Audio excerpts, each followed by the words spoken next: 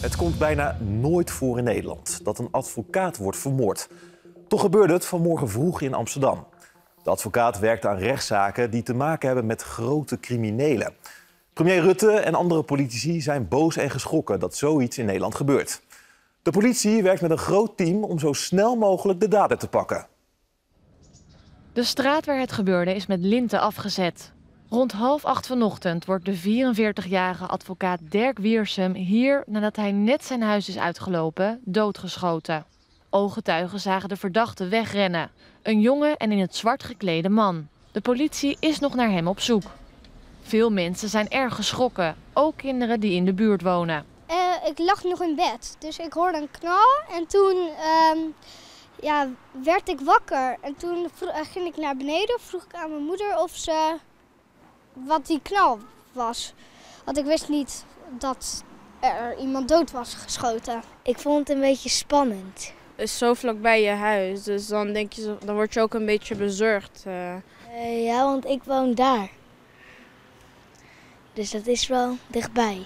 Eén rijtjeshuis verder. Toen schrok ik, want ik denk, uh, dacht zo van, waarom gebeurt het in deze wijk? Ik, ik zag het echt niet aankomen in deze buurt.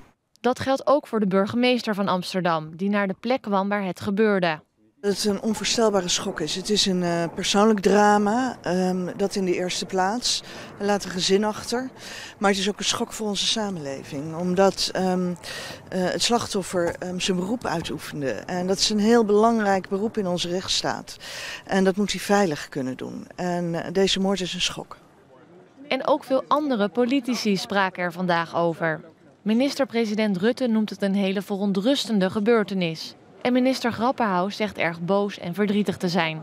De woede is groot, maar het verdriet is groter.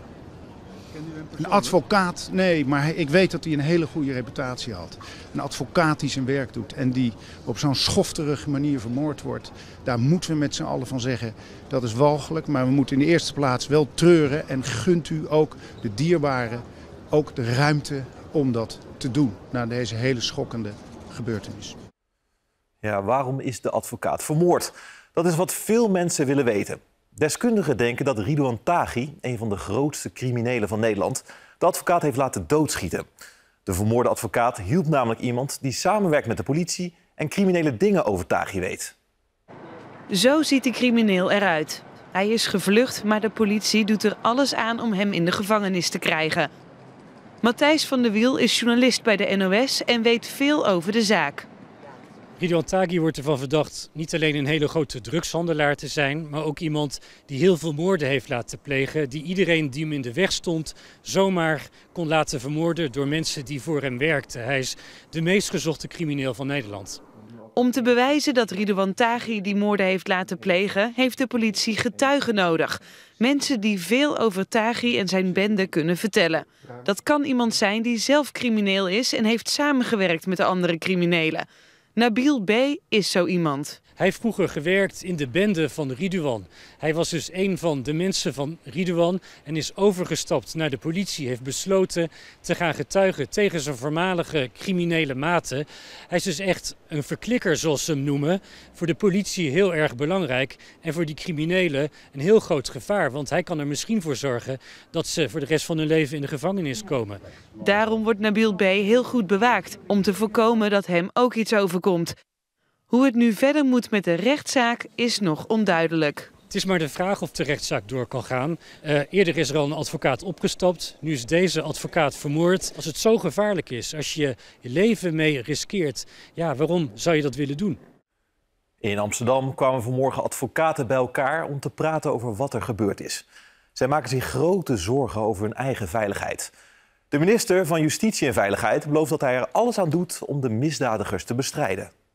Het zegt heel duidelijk dat de georganiseerde criminaliteit in ons land weer een grens van absolute nietsontziendheid is overgegaan. En ik ben daar boos over inderdaad. En ik denk dat we dat echt als samenleving, ik voorop, heel erg hard moeten blijven aanpakken. De minister heeft ook een speciaal veiligheidsteam opgericht om andere advocaten en bijvoorbeeld ook rechters van nu beter te kunnen beschermen. Morgen hangen de vlaggen bij de rechtbanken in heel Nederland half stok.